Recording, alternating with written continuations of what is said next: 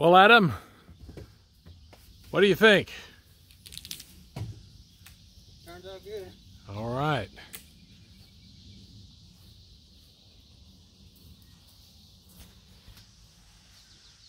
Well, this is really a big day, a big day for uh, Seven Cedars Farm. We're out here in the middle of the country, uh, rural area. No one, repeat, repeat, no one, none of the ISPs want to come out here. They don't want to deliver broadband to us. So Starlink is filling that bill, and here we're making a permanent, permanent install, installation right here to go from six megabits per second of DSL to over 150 megabits per second with Starlink.